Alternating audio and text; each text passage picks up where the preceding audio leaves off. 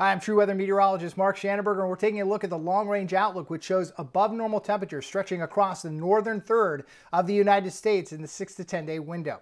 Within that area, a strip from the northern Rockies eastward to the upper Midwest stands the best chance of seeing well above normal temperatures. To the south, below normal temperatures are anticipated with coastal sections of California, a portion of Texas, and a segment of the southeast likely to be well below normal.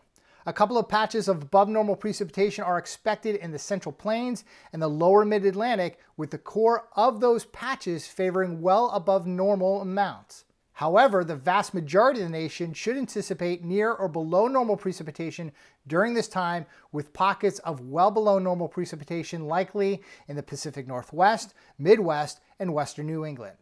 Most of the southwestern quadrant of the United States should expect below normal temperatures in the 11 to 15 day time frame, while most of the northwestern quadrant is dealing with above normal temperatures. The cold spot will reach northward through New Mexico, where well below normal temperatures are favored. The hot spot will be northern Montana, where temperatures are favoring well above normal conditions.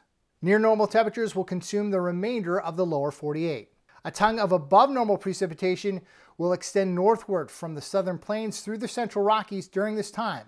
Another patch of above normal precipitation is anticipated in the southeast, but most of the nation is looking at near or below normal precipitation over this time, with portions of the Pacific Northwest and Midwest still favoring well below normal conditions. If you'd like to learn more about the long range outlook or any of the products True Weather has to offer, you can find us on the web at truewx.com. Also, make sure to subscribe to our YouTube channel, follow us on LinkedIn, TikTok, and Instagram, and like us on Facebook.